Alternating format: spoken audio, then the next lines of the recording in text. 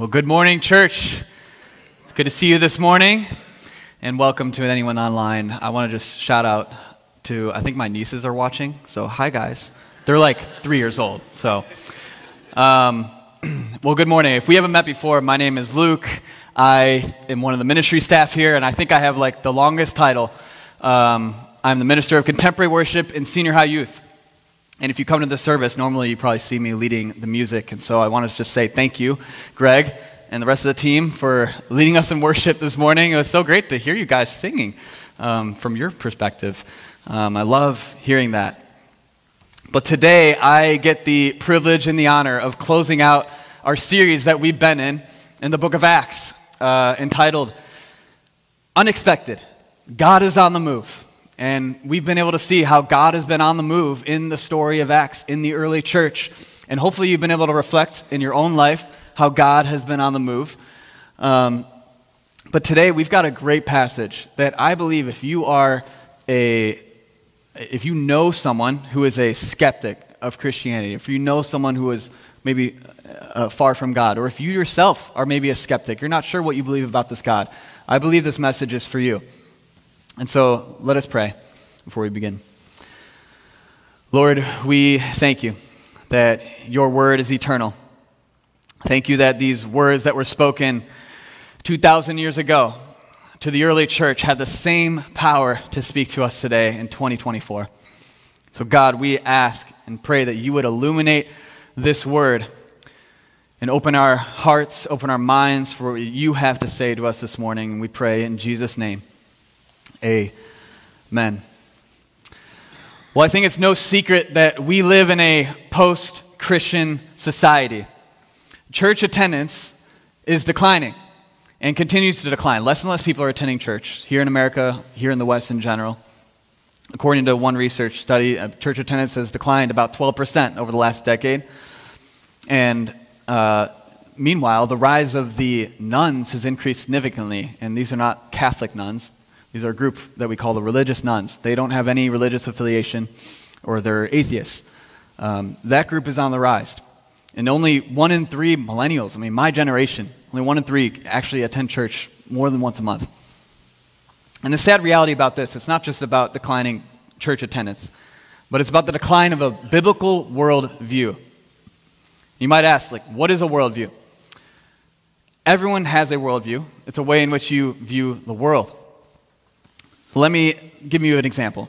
Here on the North Shore, a worldview might be uh, my kids are going to grow up and they're going to go to school, they're going to go to college, and then get a job, then move to the city, and then meet someone, get married, then move back to the suburbs, start a family, and the cycle continues. Now, that might describe a lot of your lives, and there's nothing right or wrong with that. But that, that's a worldview, something that we assume is true about life that this is the way world, the world works. It helps us make sense of our world. And so, a biblical worldview is when you let the story of Scripture and the Bible dictate how you live your life. And so, less and less are people approaching life with a biblical worldview. There's one study that says that since the pandemic, four years ago, the number of adults in America who have a biblical worldview has dropped 33%. This next generation is the most biblically illiterate generation that has ever faced America. That's why I've devoted really my life, the last decade, to reaching this next generation with the gospel. Because people don't know the Bible. We've got to reach them. So, why does this matter? You might, for you, you might have a family member or a friend who wants nothing to do with the church. Or maybe they're skeptical of Christianity. The truth is, they have a worldview. And they have a worldview that they've bought into for whatever reason that's keeping them from hearing the gospel. And so, if the church is to survive, we need to continue to rethink how are we to engage our culture with the gospel, with this good news. And as we'll see in this passage, Paul, he uh, encountered some of the same challenges that we are facing today as a culture. And so we're going to almost look at this passage as like a case study for how did Paul approach the people of his day, and how did he share the good news with them? And what can we learn to how we can apply it to our own context today? So, if you would like to follow along, we're going to be in Acts 17, starting in verse 16. I think there's a Bible probably in the pew in front of you if you want to grab that. Um, but just to catch us up for where we've been, we've been in the story of Acts. Last week, Spencer preached on Paul and Silas in prison in Philippi, and God did a miracle and opened the prison doors, and they escaped and they converted the jailer. They preached the gospel to the jailer. His whole household came to Christ. And then they moved to Thessalonica, which is another city, and they preached the gospel there. They would go into the synagogues, preach the message, and some of them, some people believed, but there were some Jews who uh, were jealous of them because people were basically deconverting from Judaism. And so they were jealous and decided to start a mob. And so they started a riot, started rioting in the streets, and they wanted to go after Paul and Silas to stop them from preaching. Because they were preaching about this King Jesus, not King Caesar in their day. And so Paul and his crew, they said, we gotta, we gotta get out of here. So they left Thessalonica. They went to another city nearby, in Berea, just west. And when they got there, they did the same thing. They preached again in the synagogues. And this time, people were a little bit more receptive to the gospel. But that same group, that mob that started in Thessalonica, heard about them preaching in Berea. And so they're like, we got to stop them. So they started coming after them in Berea. And Paul and Silas and his crew were like, we got we got to get out of here. Um, they decided to just send Paul down to Athens. He probably had some people with him, but the other leaders, Timothy and Silas, they decided to stay in Berea, and then they were going to meet with Paul uh, later. And so we get to this passage, and it says in verse 16, Paul, he arrives in Athens, and it says that while Paul was waiting for them in Athens, he was deeply distressed to see that the city was full of idols. You can imagine Paul walking around the city of Athens. Has anyone ever been to Athens before? I've never been, but it's still beautiful to this day. But he sees, even in his day, it was once it was this great uh, center of philosophy and culture. It was the place where Socrates and Aristotle and Plato, some of the great philosophers, lived and taught. And he sees all these images and these sculptures and buildings. And he doesn't just notice that they're these beautiful works of art, but he notices what they represent. And that they represent temples and pagan gods, the gods that this city worshiped. It says that he was deeply distressed to see these idols. And the wording here, it's literally that he was, he was provoked in his spirit. Like it irritated him. Like this bothered him to see these idols. Have you ever had that feeling of seeing something that bothers you? Like this is probably unique to me, but in my role here, when I see like old church sound equipment that no one's been using for years and needs to be thrown away, that bothers me. Maybe for you, it's you're a parent. You come home and your kids have just decimated your house and they haven't done what you've asked them to, they haven't cleaned just bothers you. That's the feeling that Paul has when he sees these idols. It just bothers him. And why? It's because he sees how far from God these people are. He sees that this is a city that needs the gospel. And so, if we're going to learn something from Paul about how we're going to engage our contemporary culture with the gospel, we need to be paying attention to what are the idols in our own town? What are the idols here in Northbrook? What are the idols here on the North Shore? Remember, idols are basically anything that we give our devotion to over and above God. They're basically the things that become our gods. And so, what are the idols in our culture? Is it, is it money? Is it financial security? Is it career success? Is it going on the fanciest vacations? Is it trying to gain a certain social status? Is it comfort? I think it's all those things. And I'll be honest with you for a moment. I have a little confession to make. Because as a church leader here in Northbrook, I see all the idols that our culture faces and that our culture clings to, and it, and it frustrates me sometimes. I mean, similar to Paul, it bothers me. But unlike Paul, I can become a little bit cynical and a little bit annoyed and just think, like, this pe- these people don't get it. Like our culture just doesn't get it. like why why don't people come to church more?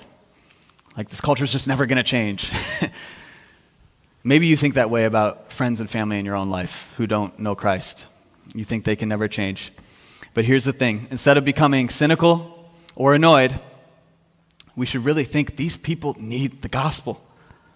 Like these people are lost. And that's how Paul saw the city of Athens.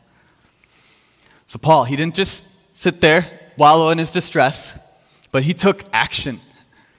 It says that he began to have discussions with people. He began talking to the people there in the synagogues, as was his custom. It says he was also in the marketplace every day, speaking with those who happened to be there. I mean, Paul did not take a day off.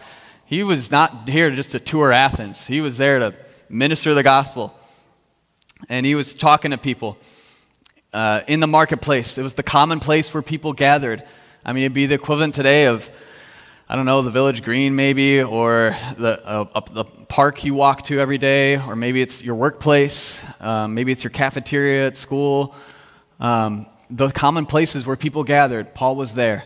And so we, just like Paul, we must go to where people are and engage in conversations with them. We've got to, we've got to talk to people, learn about their culture, what motivates them.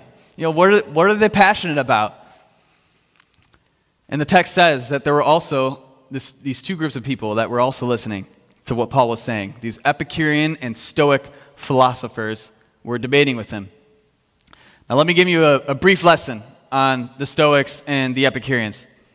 I'll start with the Stoics. So, Stoics, they were this group that believed in this atomic theory that basically life is just a random collection of atoms. Like, there's no really meaning to life, there's no need for a God. If there is one, he's not really involved. These were basically your atheists. And then on the other hand, we had the Stoics, who were what we call pantheists. They believed that God was like this force that was in everything. Like God is in the wood, He's in this book, He's in my shirt, He's in the ceiling. God is in everything. And the Epicureans, their, their main goal in life was basically to be happy and to avoid pain. Whereas the Stoics, their, their main goal in life was that if you can just endure whatever, they knew like you can't avoid pain. Like life is going to be painful. You're going to experience things. But if you can just endure whatever life throws at you and just be indifferent to it, not let your emotions take control, then you will find true freedom. That's where we get the word stoic to describe someone who doesn't show much emotion. Some of you are stoic worshipers. I see it on your faces every Sunday. Just kidding. But those were the two groups of people. And it might sound familiar to what our culture believes today. Just want to be happy, just want to avoid pain, or you know, something bad happens to your life, you just got to get through it. Those are the those were the philosophies that they were that they believed. And so they hear these guys, they hear Paul debating, and some say, What does this babbler want to say? he seems to be proclaiming foreign divinities. That's because he was telling them about Jesus and the resurrection. This, that would have been unheard of for them. And so they were like, May we know what this new teaching is that you are presenting? We want to know what it means. So Paul's like, Okay, I'll tell you. And I love Luke's comment in verse 21. He says, Now all the Athenians and the foreigners living there would spend their time in nothing but telling or hearing something new. What does this sound like to you? Your average political news station just telling about what is the new thing of the day, or maybe it's the podcast you listen to. You know, people just talking about, all right, what's the new thing? that was what they love to do. Like, and we do that today. We love to hear, you know, what's the newest thing. Sometimes we just like to debate whatever eh, philosophy is going on. We don't actually do anything with it. We just talk. But that's that's what was happening. That's a funny comment that he makes. But Paul, he has this opportunity to share the gospel with this group. He has a hearing, so he takes this opportunity. And so Paul, he begins his speech with the Athenian, with the uh, in the Areopagus, and he says, "Athenians, I see how extremely religious you are in every way. For as I went through the city and looked carefully at your objects of worship, I found among them an altar with the inscription to an unknown God. What therefore you worship is unknown, this I proclaim to you. That was Paul's intro to share the gospel. He noticed that there were these idols and that they actually were quite religious. Notice that he didn't just say, you know, you guys are a bunch of pagans, you got to repent. He made a comment about what they believe, and he saw, you guys actually, you, you, you are very religious. But I noticed you've got this unknown God. And I'm here, I'm going to explain this to you. Tell you. Let me tell you about this God that you do not know. And so he says, The God who made the world and everything in it, he who is Lord of heaven and earth, does not live in shrines made by human hands as though he needed anything, since he himself gives to all mortals life and breath and all things. You see, both the, Epics, uh, both the Epicureans and the Stoics, they thought they, could, they thought they could form God into an image and place them in temples, and then all they needed to do was just serve these gods and, make, and keep them happy. And we do this very same thing in our own life today. We think we can just form God into whatever image we think He is, and as long as we live according to that image of God that we have created, then we're good. And Paul says, no, like God is bigger than that. That there is a God who made the world and everything in it. He's Lord of heaven and earth. And he does not live in shrines made by human hands, nor is he served by human hands as if he needed anything. God doesn't need anything. God doesn't need you. He, he gives to everyone life and breath and all things. You don't get to decide what God is like. God gave you your body, He gave you the breath in your lungs, He gave you the mind that you can even conceive of who He is. So Paul continues From one ancestor, He made all nations to inhabit the whole earth, and he allotted the times of their existence and the boundaries of the places where they would live so that they would search for God and perhaps grope for him and find him. See, God created us to search for him. He created us to search for him. All of us are searching for God. And here's the thing what I want you to know every search for meaning in life is a search for God. Every search for meaning in life is a search for God. And God created us this way, Paul says, so that we would search for Him and perhaps grope for Him and find Him. The word grope, it's, it's an interesting word. It literally means to, to reach out or to feel around for something. The other week, I was driving through McDonald's to pick up some food, and uh, on my way home, I was you know, reaching into the bag and eating the fries while I was driving. Anyone else do this? Um, and I did what you would never want to do. I, I dropped a fry in between the seats. And I just cleaned my car. I was like, no. And so the whole ride home, I was like reaching underneath the seat, trying, feeling around for where the fry is while driving. I wouldn't recommend this, but I was trying to find, I knew it was there, but I just couldn't grab it. And that's, that's what we're doing in our search for God. Like we're, we're, we're reaching around for Him. We're trying to find Him in the places. That's why we are captivated by new experiences. That's why we pursue the things that we do in life. That's why we, some of us, you love to like go travel and experience God in nature. Do you think you're closer to Him there? I mean, here's the thing all those things, they're all pointing to God. and Paul says he's, he's not that far. He's not that far from every one of us. For in him we live and move and have our being. Paul's, he's quoting their own poets that they would have been familiar with. If you notice, he doesn't actually quote any scripture, any Hebrew scripture, because they wouldn't have been familiar with it. He's using what they already know to explain the gospel to them, to explain what God is like. And he says, Since we are God's offspring, we ought not to think that the deity is like gold or silver or stone, an image formed by the art and imagination of mortals. While God has overlooked the times of human ignorance, now he commands all people everywhere to repent. Why? Because he has fixed a day on which he will have the world judged in righteousness by a man whom he has appointed. There is a day coming in which every one of us will stand before God and be judged. We don't know when this day is, but we know that it's going to happen. And so you cannot delay this decision. Notice that Paul doesn't even he doesn't even mention the name of Jesus, but it's implied. Jesus is this man. And Jesus' resurrection is proof that this day is coming. So there's no excuse. You've got to put your faith in Jesus Christ. So, what was the Athenians' response? In verse 32, it says that when they heard of the resurrection of the dead, some scoffed, but others said, We'll hear you again about this. The resurrection of the dead, it would have been an unheard of concept, and for the Stoics and the Epicureans, and still, the resurrection today can be the main barrier for people believing. Because how can a dead person come to life? But that's going to be a normal response when people hear the gospel. Some will scoff, but others will actually believe. and we do see that some did become believers. Dionysius, who was a member of the Areopagite Council, and even a woman named Damaris, who, was, who became a believer. And she was probably like a bystander at this meeting. It was probably mostly men just debating, and she was listening. You never know who might believe. So, what are you to do with all this? How can you begin to engage the culture of your day, the culture around you, the people in your life, to share Christ with them? I want to give you some practical steps that you can even begin to take this week. You ready for them? You can even write them down if you want. Step one is to pray for compassion for the lost. Pray for your own heart. I mean, ask the Lord to give you a heart of compassion for the people in your life who don't know Jesus.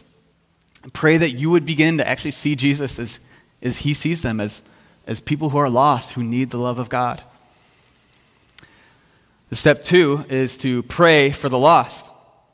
Like, actually pray for the lost people in your life that the Lord may bring to mind to you. Maybe it's a family member, maybe it's a coworker, maybe it's a friend, maybe it's just people that you commonly cross paths with, but pray for them and pray for their salvation that they would come to know Christ.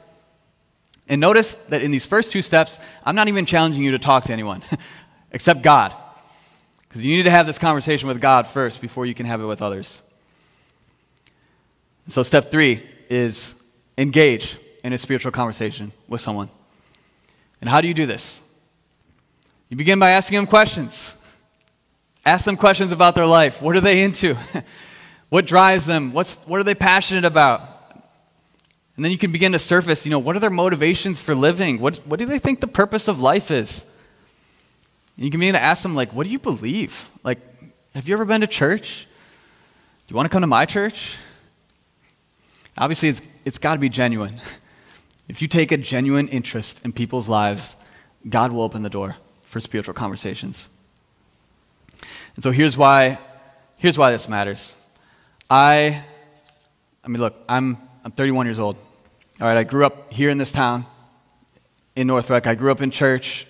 I've had my own periods of rebellion, of walking away from God, of questioning my faith, but time and time again, it's been people in my life who have pursued me and asked me questions about my own life who have shared the gospel with me, whether it's been church leaders or family members or youth leaders who have not given up asking me questions and pursuing me. I wouldn't be where I am today if it weren't for, for people like that. And I'm not saying I've lived a lot of life. Um, but I've lived enough life to experience a lot of things that life has to offer. I've searched for God in all different places, whether it be pleasure or success or popularity, you name it. And I still have yet to this day have found anything that has given me meaning or purpose in life other than a relationship with Jesus Christ. He's my reason for living. And I want that for you. And I want you to want that for others too. It's the greatest news. So, listen, as we close, if you would say that you have not yet made a decision to follow Christ, I want to give you an opportunity to do that. That's, that's step zero. Because you can't really apply the other steps if you haven't start if you don't start there. You don't have to have all the answers. You just have to have faith. And so I'll lead you in a simple prayer. And we're actually going to uh, we're going to be taking communion in here in a moment, and it's, it's, you can make a tangible response to the gospel by receiving the body and blood of Christ. So let us pray.